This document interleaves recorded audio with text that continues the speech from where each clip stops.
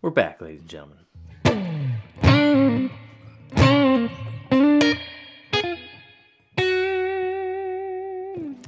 Michael Palmisano here. Just got back from uh, Colorado in Breckenridge. That was awesome. It's like negative 16 out there. Amazing. And then I fly home, and the very next day, after a kid's soccer game, a kid's indoor baseball practice, yeah, season starts in April, already practicing indoor. Then uh, another kid's birthday party. Then I drive to DC and have dinner and catch a show courtesy of Cory Wong. What a band that was. You had Antoine singing, you had Sierra Hull doing uh, Killer Mando, crushed doing a Del McCoury cover. Seriously, go check them out. Corey and everybody, thank you so much for um, being such incredible hosts and inviting me down. And so now I'm back on the website. Bam. Got to get back. Got to get back on the horse.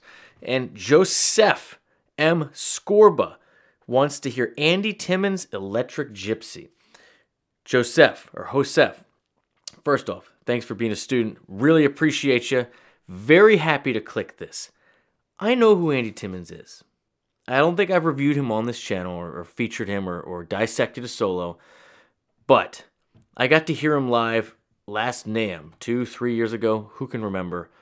Um, when he was on stage with Paul Gilbert, Andy Wood, uh, Mark Lettieri, um, and he kind of stole the show. Tone, phrasing, all of it. So here we go. With pleasure, we click.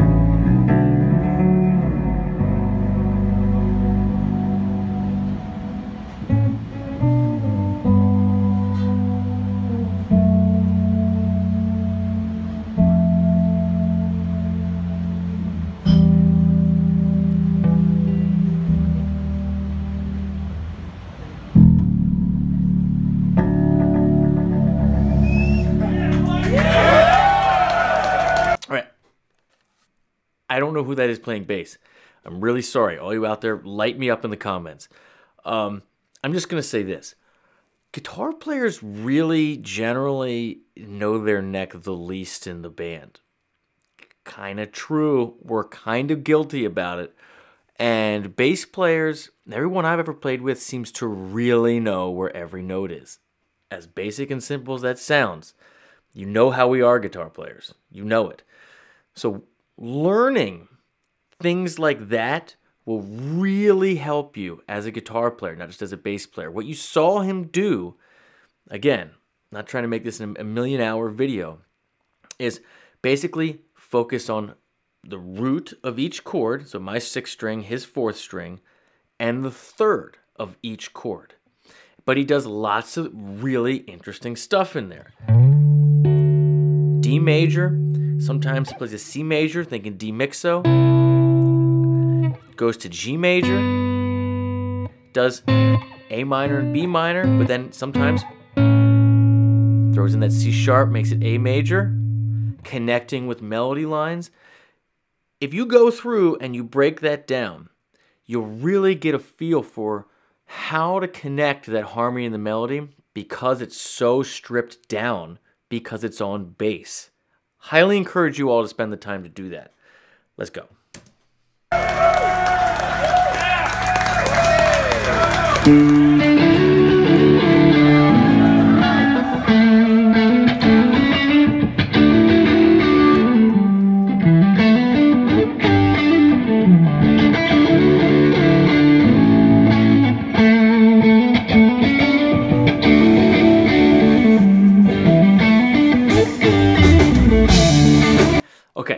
so the bass player uh, uh, um, prefaced this. Your D major, five, right? Your A chord, six, B minor, four, G. And what you do is you see Andy playing that movement with a bunch of different inversions, getting a killer single coil rhythm sound. So these little pieces.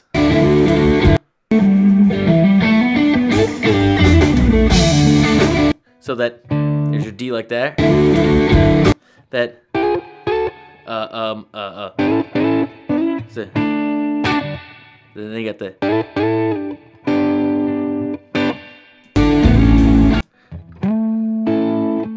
A, right?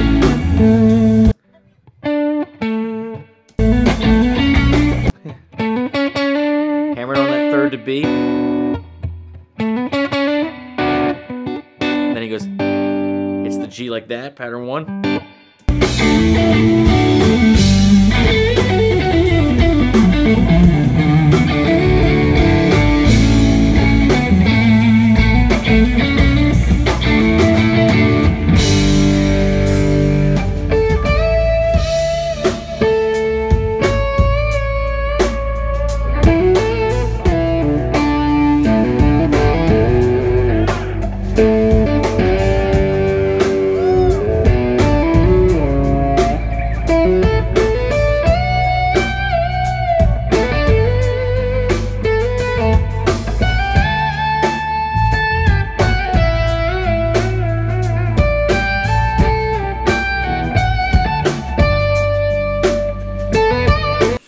So much to talk about in here. Uh, you can hear his hands. This is a lot cleaner than he than you might think. Okay, essentially, what's happening here is he's hitting harmonics. These are those tap harmonics. You know, uh, an octave above, essentially, where this finger is. So If you hit this, and you right. I don't have any juice on it, but it'll it'll ring out that harmonic.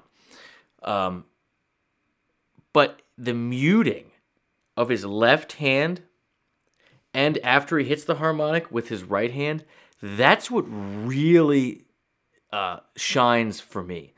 Because this is pretty damn clean. And you can tell because you can hear his hands move around the fretboard.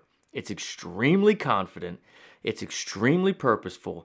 And the key to this stuff, I'm telling you, is in the muting and having it doesn't have to be distortion, but enough juice on your amp that you can kind of lean in, lean out, and let the, volume of the stage re reverberate that harmonic, that note. Let the string kind of keep going.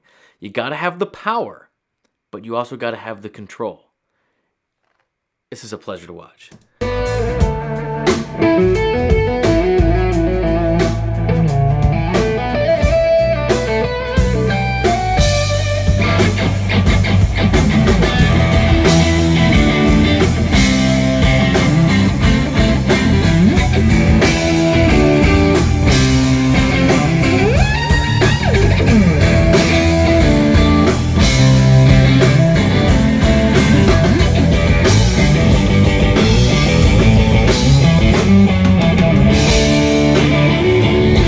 So nasty. And again, the bass player kind of prefaced this before in the solo.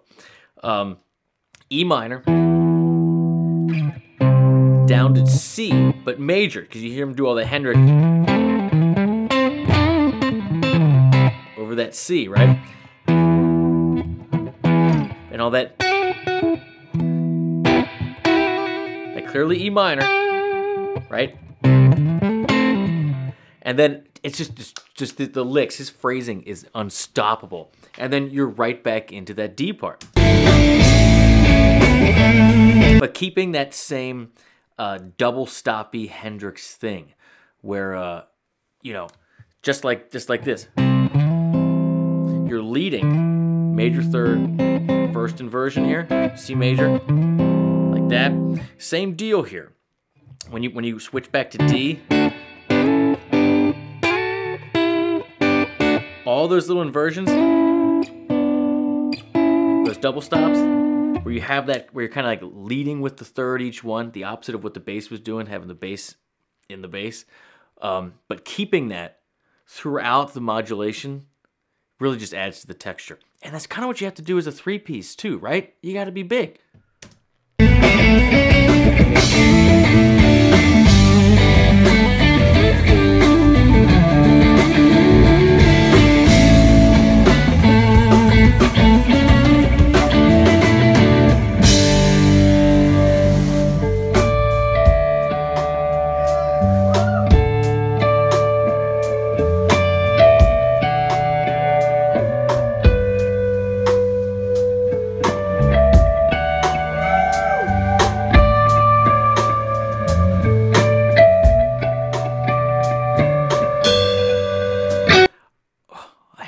Stop it there. That was that was the best pickup ever.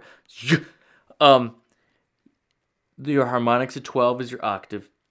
Your harmonics at seven, so you get um, is your fifth. Your harmonic at five is a double octave. Your harmonic at four. Again, I don't have any juice. I got my single coils. I mean, he's got his single coils. He can do it. I don't know. But anyway, at four, that is a major third, I believe. All I'm trying to say is he's hitting the chord tones of each of the chords that are passing by. And he's mapped out whether he's going for the root, the fifth, or third. And he's figured out what strings he's going to do them on to hit each one and cascade. That is a planned out thing. You know you have to you have to spend the time and learn um, where that's all going to be to do it, right? Um, so just know that if you go to try to do that, you really got to pay attention. But man, the cleanliness of how he's just letting the amp do the work is so good. Let's let's let's hear this drop.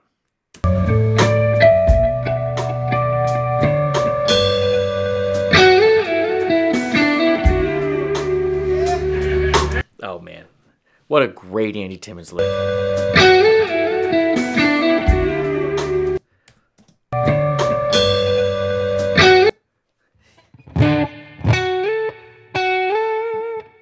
Chord tones, baby. Major third to fifth.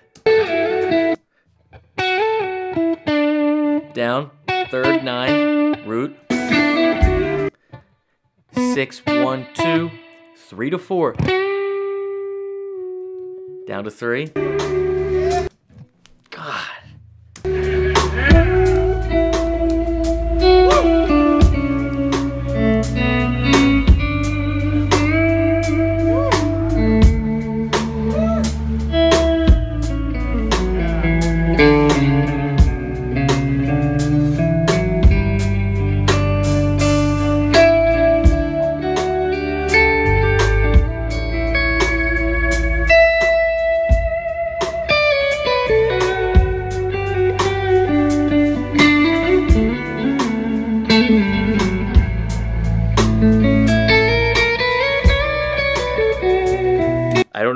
Was on purpose or not, but that was bitchin'. That, that. A sharp, B flat, whatever you want to call it. You know, that's your flat six in the key of D. But he, just, he unlike how I would do it, and I would, and I would, you know, I get in and out of there fast. He kind of lays on it. He kind of makes you, you know, take it a little bit. I respect that.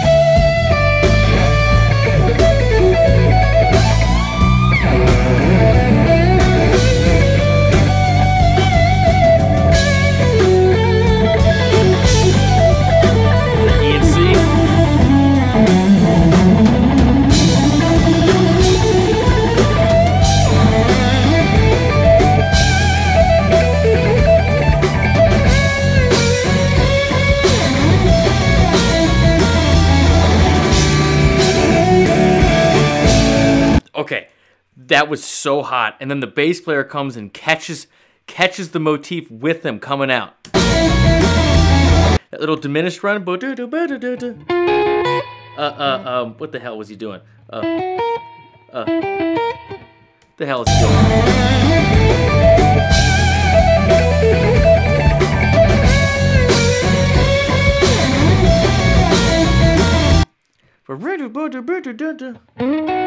Uh, uh, uh, uh, uh.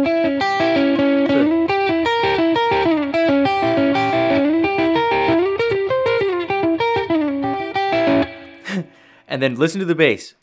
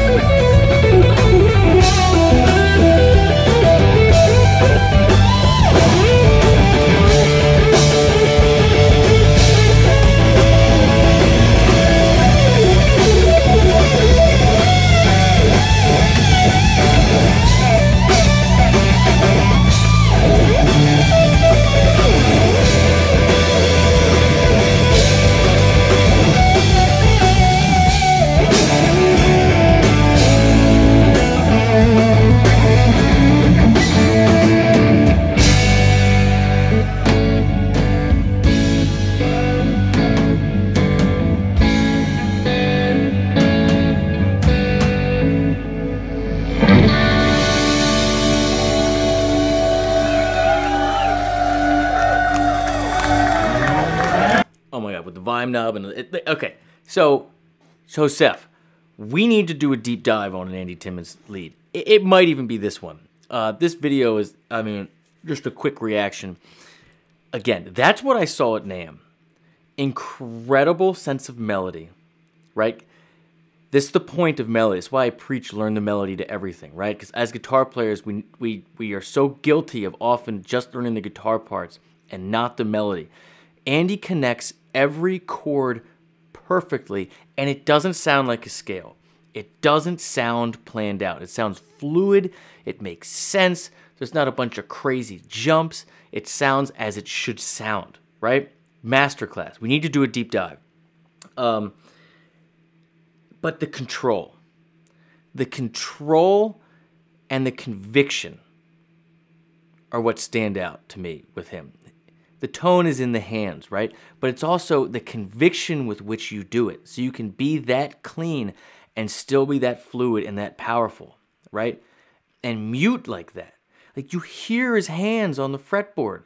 This isn't a this isn't this isn't, you know, touched up and erased and and got a bunch of nonsense on it. This, this, you're hearing it when he wants you to. Masterful. Masterful.